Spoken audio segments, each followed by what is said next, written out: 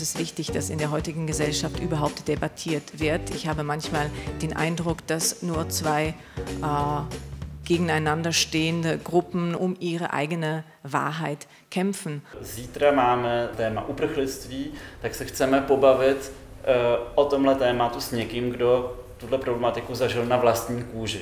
Tak dobrý den prajem pre všetci. Uh, žijem na Slovensku 3 roky a pochádzam z Afganistanu. bolj, bolj terapijni život. Ne, eh, ne, videl, ne, ne mogla sam iz normale do škole. Mi smo normalni ljudi, a treba neki ljudi pomoć, fakt, koji su još, još svi u Evropi. Na to ljudi treba pomoć, ali oni pridavali svoje biti, a još nemaju velike možnosti, nemaju možnosti.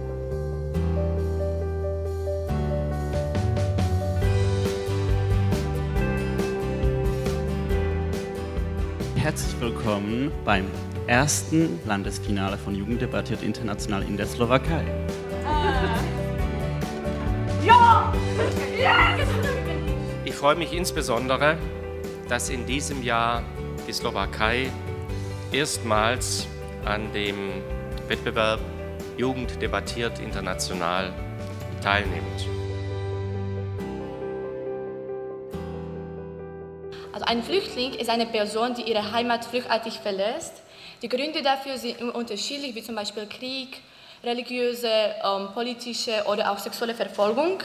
Aber was denn, wenn wir die Flüchtlinge nicht in ein oder zwei Millionen rechnen würden, sondern in 40 Millionen zum Beispiel? Ich glaube auch, wir können jetzt so was von den Flüchtlingen lernen und wir können ein bisschen toleranter sein. Ich glaube, dass die äh, Christentum und Islam nicht lange in Frieden zusammenleben können, weil sie andere Religion haben, andere ähm, Bräuche und Sitten. Also das sehen wir als ein Problem. Für mich das Wichtigste war, dass wir eigentlich in der EU sind und wir sollen also das, den Zusammenhang verstärken. Und deshalb bin ich dafür, dass die Flüchtlinge äh, in die Slowakei nach der Quote aufnehmen sollen.